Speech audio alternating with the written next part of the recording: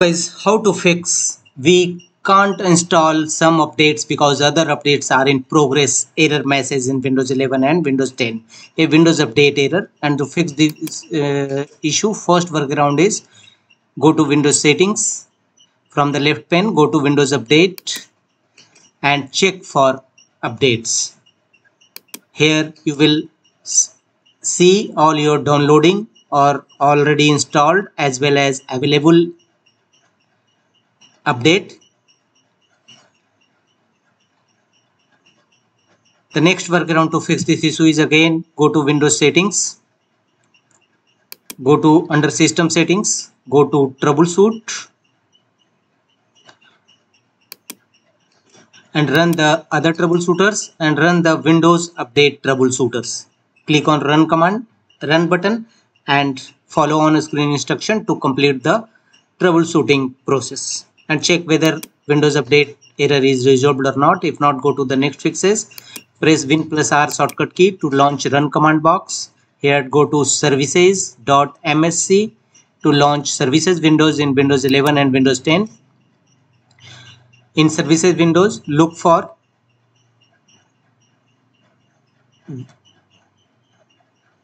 Windows installer, right click on it and choose a start if you found already in a start then simply right click on it and choose restart.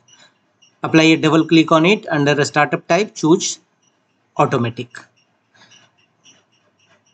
Update uh, execute windows update components. Go to windows search type cmd and open command prompt windows as administrator mode. And here execute windows component command as shown on a screen. Net stop all these four commands one by one execute in command prompt windows followed by enter key on each times. Once the process finishes press win plus e shortcut key to launch windows file explorer. Here go to this pc open c drive go to windows and here look for software distribution folder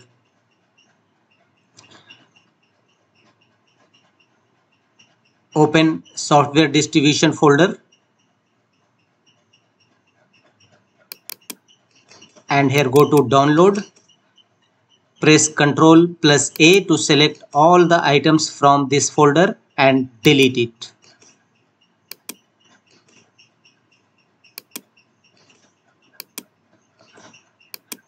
Thereafter once the folder is completely empty again go to same command prompt windows and start windows update components just you have earlier stop not now start all these four commands one by one followed by enter key on each times.